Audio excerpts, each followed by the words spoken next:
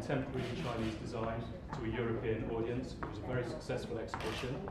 And as part of that, this is one of the acquisitions we made at the time by Ma Ke.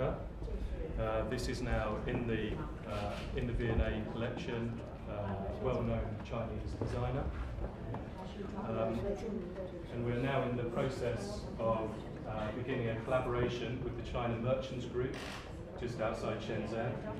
China Merchants Group is building the Shekou Design Museum, the V&A museum. And there's a, a short, uh, short message from our colleagues in, in Shenzhen.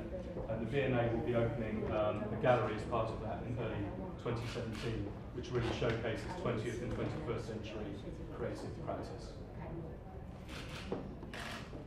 哎，合作是两个百年期的合作。英国国立维多利亚与埃伯特博物馆创立一百余年前万国工业博览会，为说明